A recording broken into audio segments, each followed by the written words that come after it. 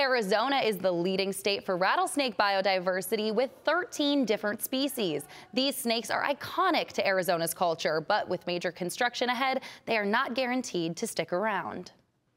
The hot sun, cactus, and the desert. These represent Arizona, but so does this sound.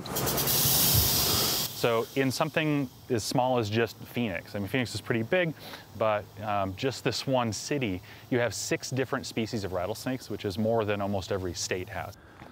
Bryan Hughes spends his days on trails, relocating snakes that slither into homes.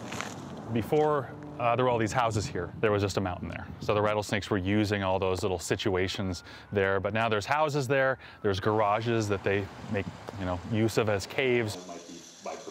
So rattlesnakes are still going to live there. They're just showing up in people's backyards instead of, well, the boulders that used to be there. But it's not as simple as just letting snakes go back into the wild. Even these, these feel-good ideas about moving animals out of the way or putting them into a natural environment so that they don't get uh, affected by this.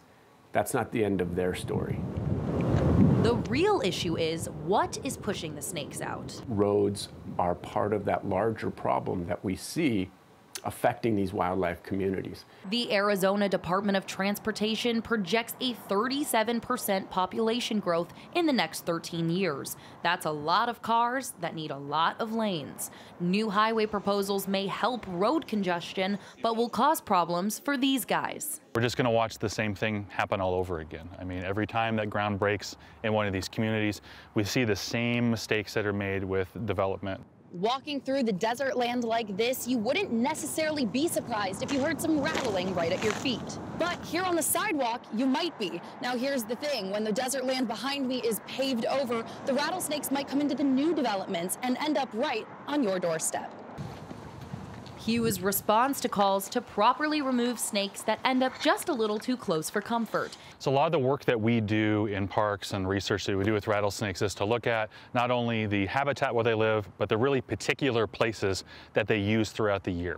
For these Arizona Western Diamondbacks, cohabitating in a pack rat nest is the perfect new home.